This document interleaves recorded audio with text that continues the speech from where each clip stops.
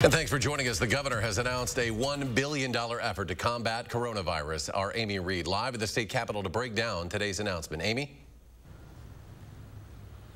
This money, which came from the Federal CARES Act, is being split into multi-million dollar chunks. Much of that will go to local and tribal public health departments and hospitals to help respond to this pandemic. More than half of the $1.9 billion the federal government approved for the state is going toward a new effort, Governor Tony Evers announced Tuesday. The plan allocates millions each for testing, contact tracing, and personal protective equipment across the state. Securing and directing aid is the focus of the administration's statewide efforts since Republican lawmakers pushed back on his attempt to get a statewide rule in place.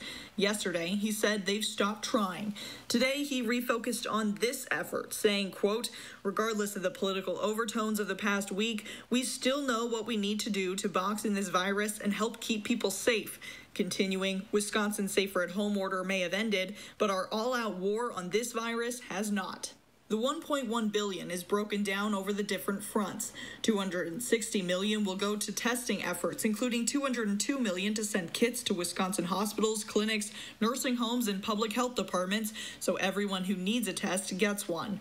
75 million will go to contact tracing, the majority available to local and tribal public health departments to hire extra staff. 150 million goes to PPE, 40 million to ventilators, 200 million to state agencies, and 445 million to ensure Wisconsin hospital systems and communities are prepared to handle any surge in cases over the summer and fall.